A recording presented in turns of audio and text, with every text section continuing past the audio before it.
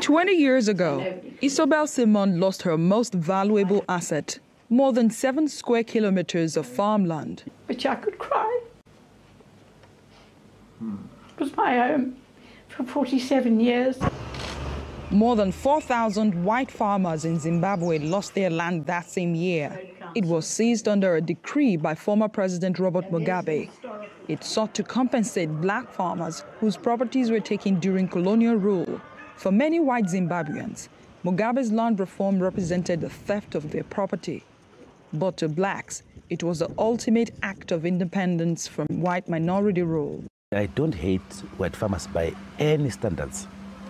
Uh, but does, that does not stop me from claiming what is rightfully mine.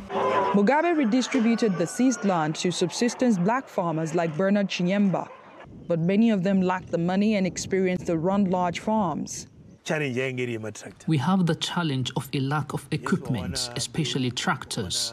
The seed and fertilizer are provided by the government, but you can't start any work because no diesel will be available.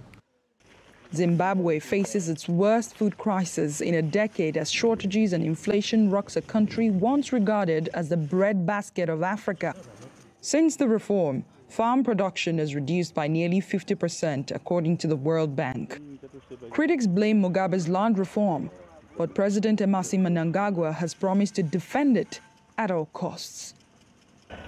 Adesewa Josh, TRT World.